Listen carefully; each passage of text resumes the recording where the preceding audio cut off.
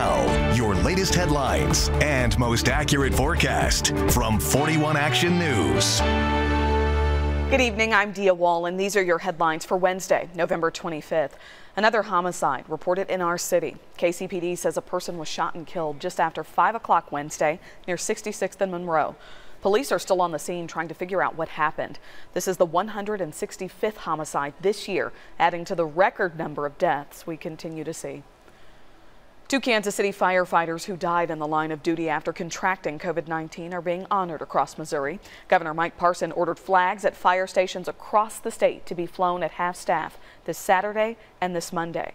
Communications specialist and paramedic Scott Davidson and Captain Robert Bobby Rocha died last weekend. Some small Kansas City businesses may soon receive some much needed relief. Mayor Quinton Lucas introduced a new proposal that would reduce or eliminate fees for businesses in the service industry.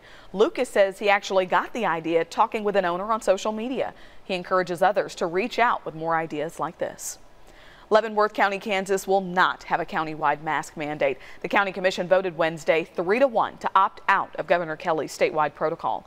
The county's two largest cities, Leavenworth and Lansing, both have adopted mask mandates. Chief Meteorologist Gary Lezak has our Thanksgiving Eve forecast. Thank you, Dia. A drunk driving warning is in effect, and for all those that have been injured or killed, in memory of those that were injured and killed in uh, drunk driving accidents. So don't drink and drive. Solve that problem.